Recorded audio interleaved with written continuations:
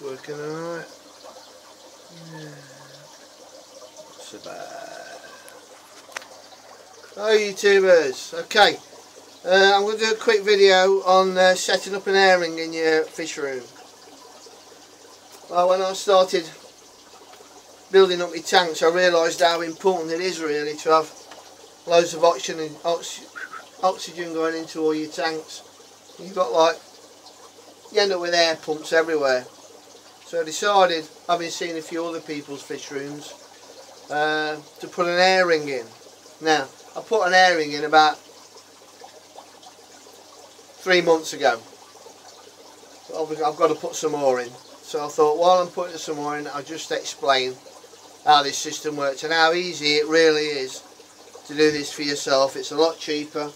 You'll have loads of airlines then to run air stones, uh, sponge filters, under gravel filters, oxygenators, just about everything. I'll just show you the strength of it there.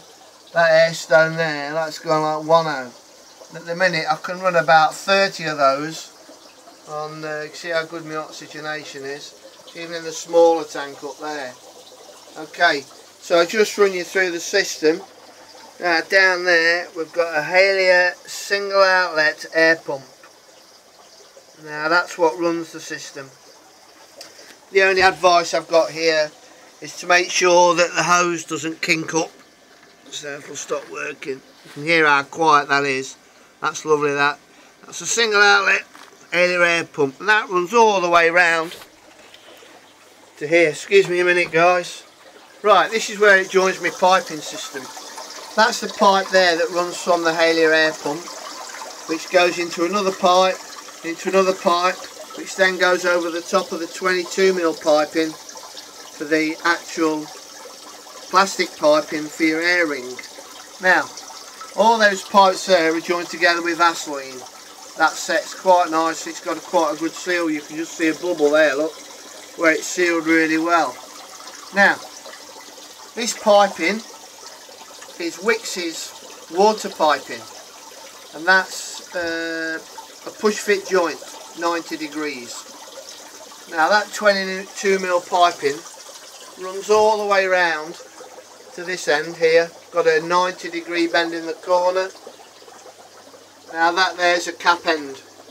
So what that does that effectively effectively effectively gives you a, a seal now what I want to do now is round this part of the room is I need to run another one. So this 90 degree bend here is going to be replaced by this T-piece so you can see where that fits in there.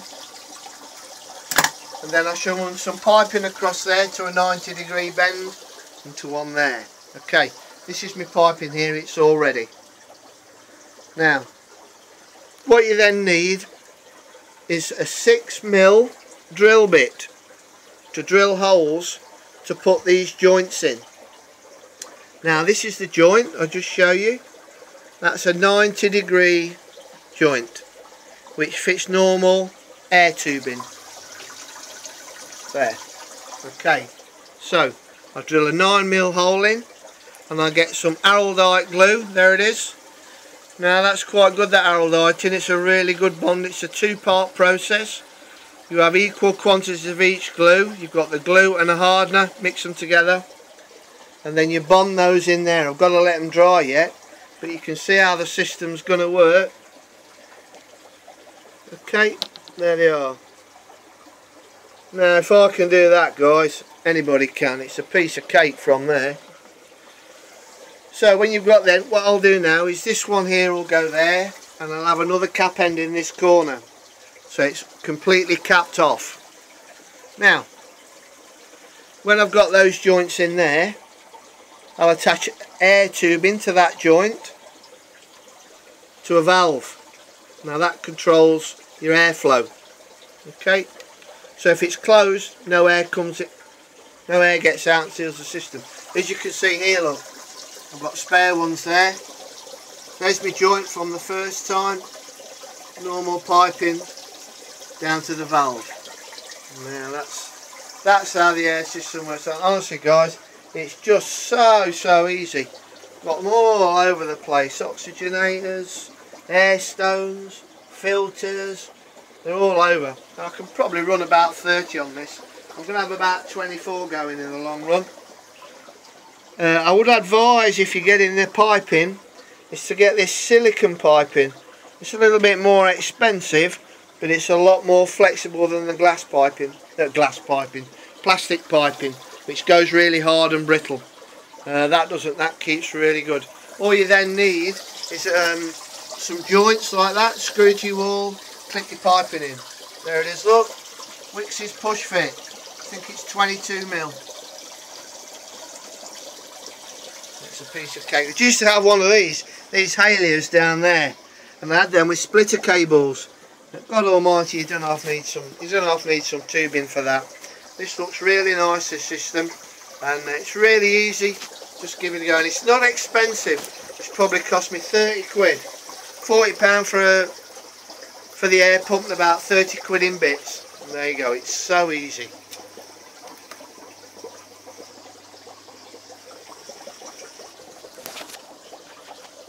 Okay guys, that's it. Um, any questions, please post them on this video.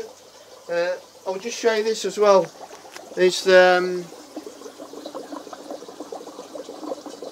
Geophagus brasiliensis eggs. What I've done there is I've put that uh, into a plastic pot. So what happens is when the eggs start freeing off and they're becoming wrigglers, they drop into the bottom of the tray. They don't get shooting all over the tank. Just a bit of a tip there for you. Put a stone in to keep it weighted down. Air stone at the side to maintain the airflow. And I'll have loads of babies off there. They're doing really well. As you've noticed, they've gone really, really dark. So, okay guys. Uh, thanks to my subs. See you tubers.